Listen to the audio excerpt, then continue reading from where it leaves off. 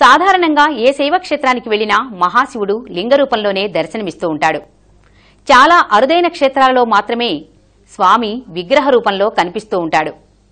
అలాంటి సదాశివుడు శ్రీ మహావిష్ణువు మాదిరిగా శయనభంగిమలో కనిపించే క్షేత్రం ఒకటుంది. అదే సురటుపల్లి. ఇది చిత్తూరు జిల్లా నాగలాపురం మండలంలో విలసిల్లుతుంది. ఈ క్షేత్రానికి ఈ పేరు రావటం వెనక ఒక ఆసక్తికరమైన కథనం ఉంది. పూర్వం అమృతం కోసం దేవదానవులు క్షీరసాగర మదనం చేసినప్పుడు హాలాహలం పుట్టింది. లోకాలను రక్షించటం కోసం పరమశివుడు ఆ కాలకూట విషాన్ని మింగేశాడు.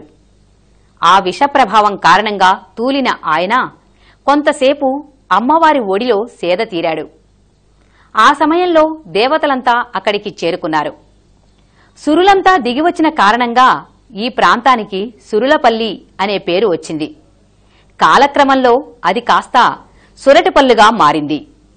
ఈ క్షేత్రాన్ని దర్శించిన భక్తులకి సేనభంగిమలో గల శివుణ్ణి దర్శించుకోవటం ఒక అనిర్వచనీయమైన అనుభూతిని కలిగిస్తుంది. ఒక్కసారి దర్శించుకుంటే సకల గ్రహదోషాలు పోతాయి.